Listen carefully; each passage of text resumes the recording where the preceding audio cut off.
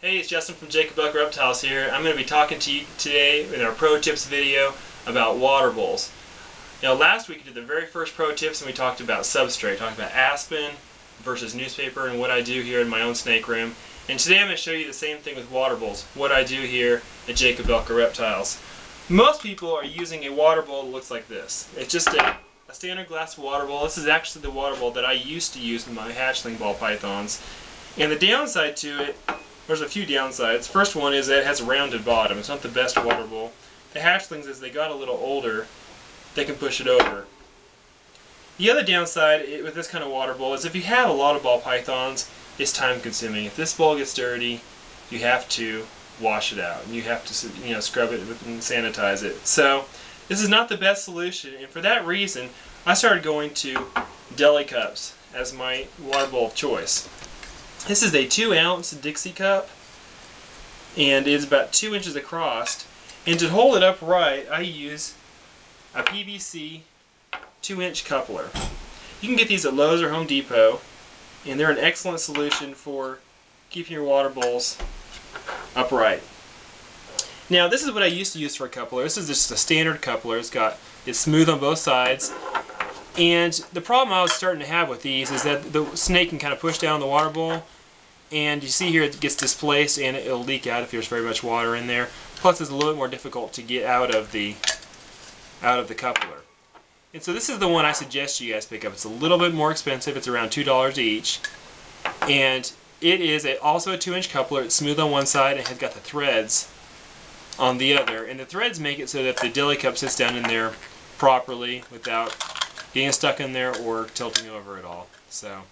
So what you guys need is, again, it's a 2 ounce Dixie cup. You can buy it from SuperiorEnterprises.com or you can get them on eBay. I get mine on eBay.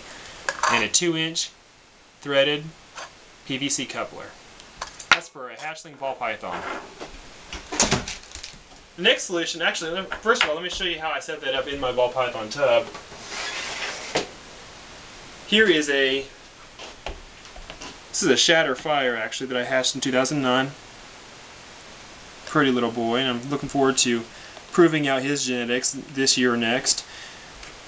This right here is a standard hatchling ARS tub that I showed you guys last week. Got the aspen bedding in the bottom.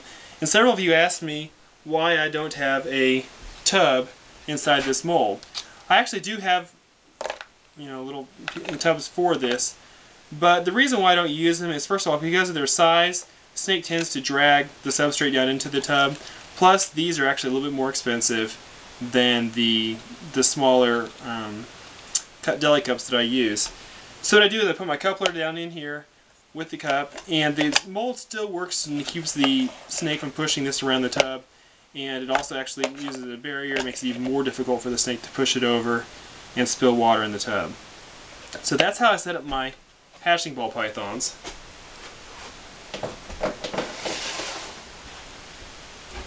For my adults, I'm using a 4-inch deli cup. This is made by Fabri-Kal.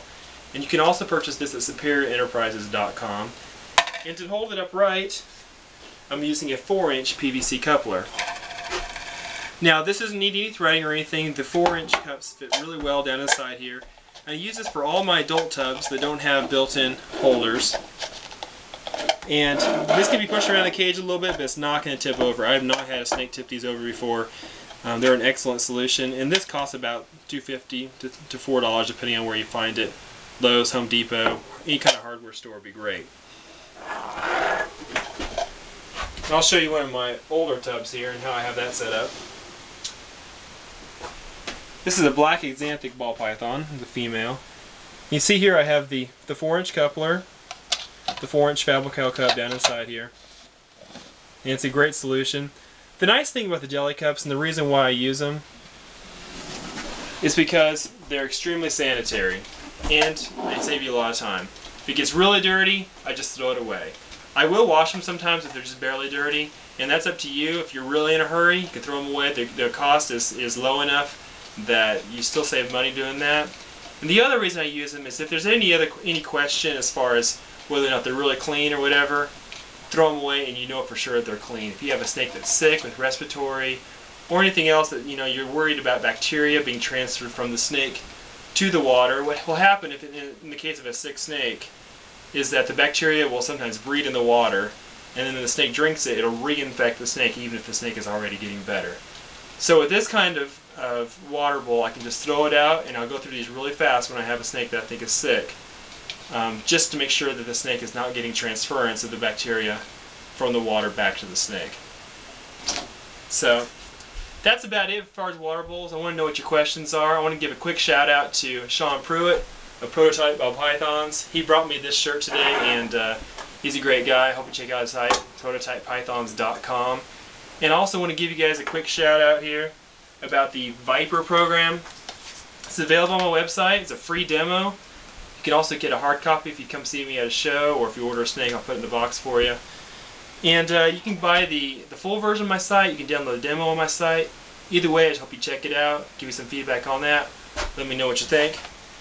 And next week for our pro tip videos, we're going to be doing racks, talking about melamine versus plastic versus metal versus aquarium. We're going to talk about all the different options, what the pros and cons are, what's best for your snake, and uh, what you can afford, and all the little factors that fall into that. So, thanks for watching my video. Hope you got something out of it.